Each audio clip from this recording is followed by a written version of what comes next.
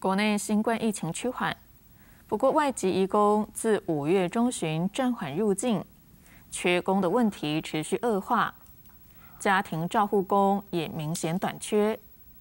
各界关心何时重新开放移工入境。劳动部长许明春表示，目前规划完整接种疫苗者优先入境，预估年底前有机会开放。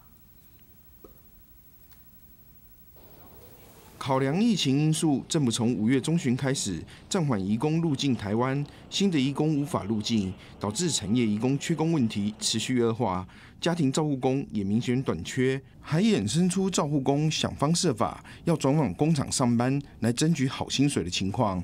更有不少雇主为了留住家中照顾的移工，却被坐地喊价，月薪一跳两三万，或是被迫休假不扣薪，让雇主苦不堪言。在这段期间，就是就地喊价的情况是有出现。像我最近听到一个最高的，就是在转换一次雇主之间，就要求了一个四万块钱的这个买工费哈。所以呃。当然，如果要解决这个问题，最釜底抽薪就是把供给跟需求之间做最大的平衡嘛。社福团体呼吁政府尽速重启移工路径，才能解决燃眉之急。对此，劳动部长许明春证实，目前确实已经规划让移工入境的计划。来源国的源头管理大概会朝向说，有完整施打疫苗的会优先哈，优先让他进来。还有就是入境检要 PCR，PCR 以后要一人一室哈。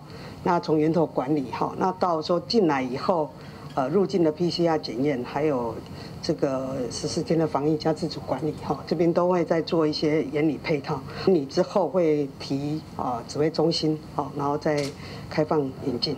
因为他的呃整个计划都还没有送来，我们也要看计划之后才能够确定啊。那这个方向的部分还要再讨论哦。对于重新开放就业服务，全国联合会理事长黄镐杰认为，一共打满两剂疫苗才入境，登机入境前一人一室，方案严格，若入境后还要隔离十四天，相关费用势必得转嫁到雇主身上，又是一大笔负担。建议政府简易隔离时间可以缩短。记者陈嘉欣、吴家宝、林静梅、谢奇文台北报道。